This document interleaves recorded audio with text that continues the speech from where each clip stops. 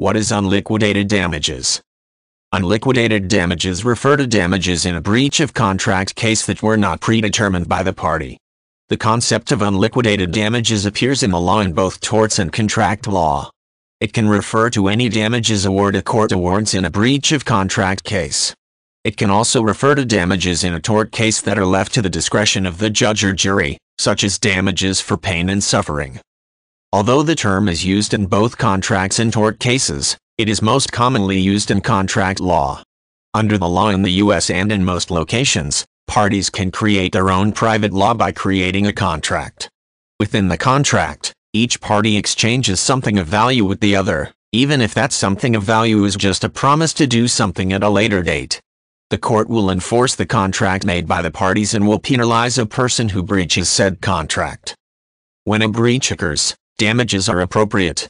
Damages are the amount of money necessary to put a plaintiff in the same position he would have been in but for the breach.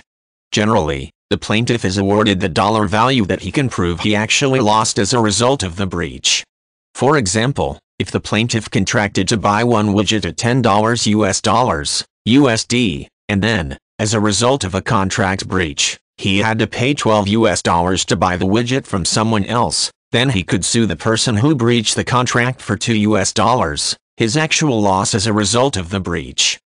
Sometimes, it can be difficult for a court to determine what damage award is appropriate. This is especially true since speculative losses are not considered.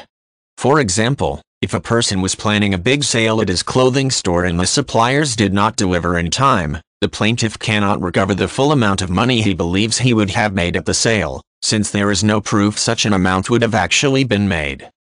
Because calculating damages can be difficult, the concept of unliquidated damages and liquidated damages has come into play.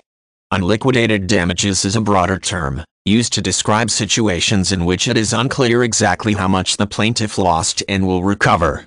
Often, in cases where damages are likely to be very speculative, a liquidated damages clause is included. This removes the problem of unliquidated damages because the parties to the contract previously agreed on how much must be paid in the event of a breach.